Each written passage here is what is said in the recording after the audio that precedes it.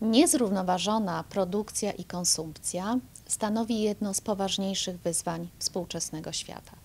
W głównej mierze dlatego, że ma wymierny, szkodliwy wpływ na środowisko naturalne.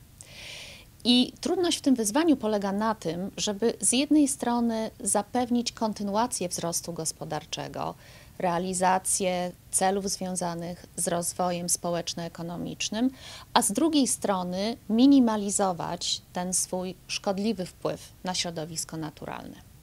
Temat jest bardzo poważny. Z danych GUS wiemy, że średnio w roku mieszkaniec Polski generuje około 360 kg odpadów. Również rocznie w Polsce marnujemy 5 milionów ton żywności i z tego 60% w gospodarstwach domowych. Jak więc widać, jest to temat, który dotyczy każdego z nas i każdy z nas poprzez swoje codzienne wybory i decyzje ma tu wymierny wpływ.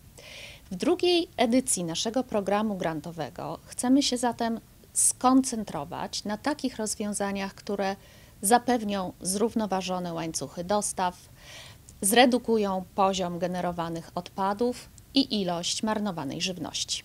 Na rynku pojawia się coraz więcej przełomowych rozwiązań, z naszej perspektywy ciekawych, innowacyjnych. I katalizatorem jest tutaj nie tylko szlachetna idea wspierania rozwoju gospodarczego, minimalizowania negatywnego wpływu na środowisko, ale też realna szansa biznesowa.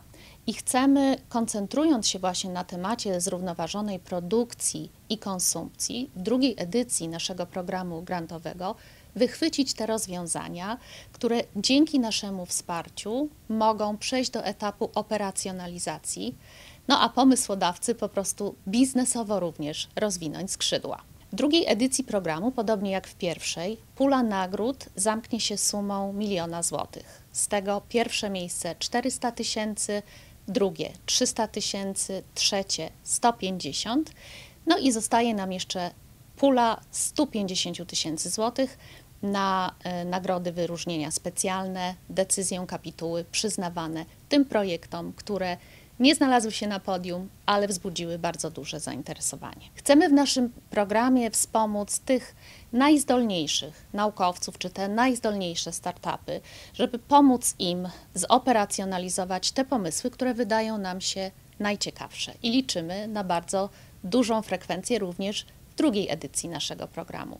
Przypomnę tylko, że na zgłoszenia będziemy czekali do 15 października, a galę finałową zorganizujemy w grudniu.